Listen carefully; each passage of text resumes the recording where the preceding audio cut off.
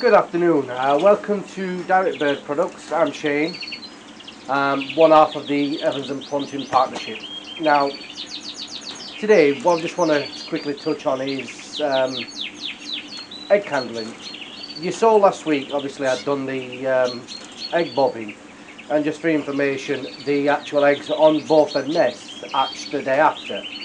So it, it just proves the point. I think what may have been uh, uh, one to, to help it along is the actual water probably softened the shell up.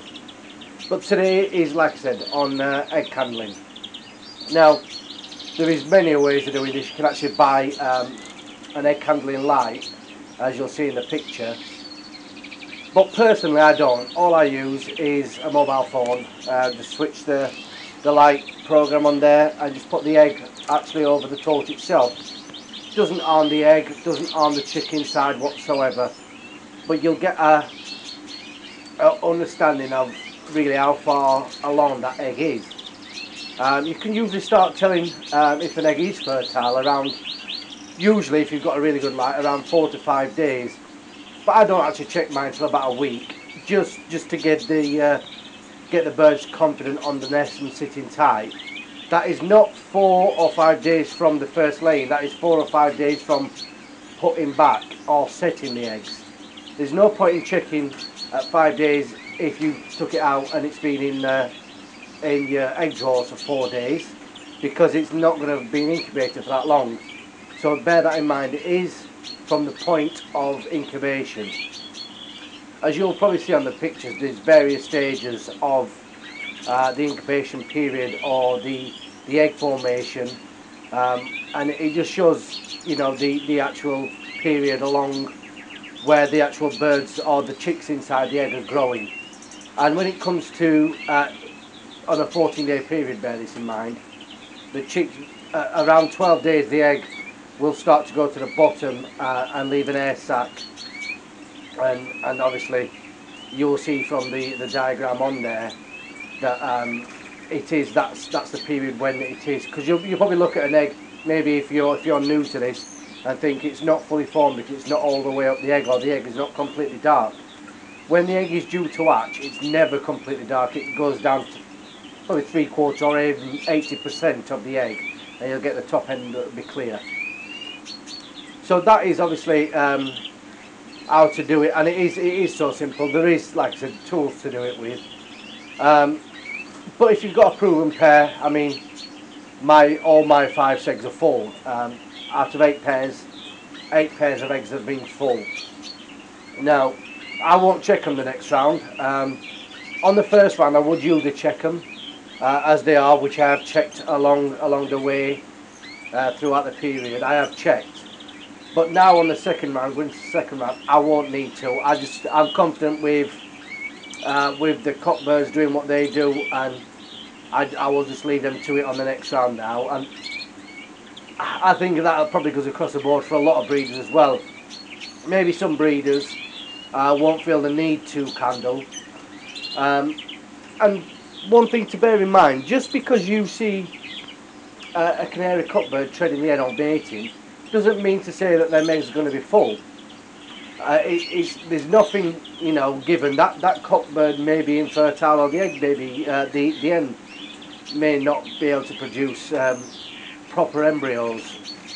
So bear that in mind. Also, you'll probably see this next diagram. This is more on the line of, it, it will show you the period of um, the chick going inside the egg, but also it will show you when uh, the, the chick is dead in shell. Um, this occurs more when it comes to humidity or the end sat too tight or there is other reasons, obviously the, the embryo wasn't growing properly, something might have been wrong with it. But majority of the time it is down to humidity and, and the, obviously that is to do with the too tight. Um, it does happen from time to time. I mean last year I got a few dead in shell because I got the humidity wrong in the shed. Uh, but obviously now with, with the uh, doors and windows open, the humidity is right and if you want to actually check out on humidity, uh, go over to the canary room. Matt L did um, a, a, bit on one of his channels about humidity and what he has it at. Uh, so so check that out. Um, but if in the meanwhile, one thing to, to bear in mind to bring the humidity to a level. Now, if it's a really hot day outside, uh, just like a bucket of water or, or just going around spraying the nest and stuff like that. That's one thing I tend to do quite a lot if it's hot. Is spray the nest and spray the ends on the nest to actually to to dampen it off. But on the whole, um, this this one is, is all about um, egg candling. In this uh, next picture, it is like I said about um, some things more featured on on inside the egg and what's going on from the embryo and, and all the organisms that make up an egg. So just, just have a look at that. I mean, it's, I'm not one to go into much science, but it's just something that you might find slightly interested in. Uh, just to know it's not just the chick inside the egg, it's, it's everything that goes around to create that chick. So have a look at that picture. So that's it for today. I mean, it, it is just a short one, just on on egg candling. But on, on uh, Friday's video, we are going to get back to doing some filming in here. I have, uh, throughout the week, been, been taking shots of uh, the canaries feeding the young, birds building the nest. I've got this, this pair of bullfinches here. She's already building up. And it's just going to be about things like that. But also, um, thanks to everyone that watched the uh, Derek Oldknow film. Um, the response from that has been fantastic and obviously everyone seems to enjoy it. And it's like I've said before, there's a lot of um, things that I've taken from that over the years, over the uh, 30 odd years I've been breeding birds and, and adapted it slightly.